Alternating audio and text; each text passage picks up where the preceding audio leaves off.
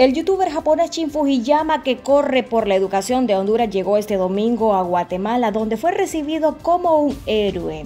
Fujiyama recorre unos 40 kilómetros diarios desde Reynosa, México, para completar su reto de correr 3.000 kilómetros hasta llegar a Honduras.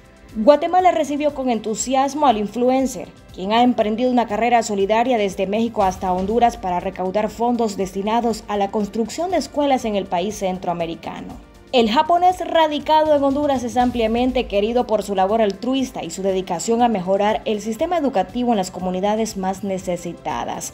Fuyama llegó a Guatemala y fue recibido como una verdadera estrella con muestras de apoyo y cariño por parte de los guatemaltecos. Su proyecto ha generado un fuerte impacto en la región ya que su iniciativa busca no solo llamar la atención sobre las necesidades educativas de Honduras, sino también inspirar a otros a sumarse a la causa. Este corredor filántropo no es nuevo en el ámbito de la colaboración social.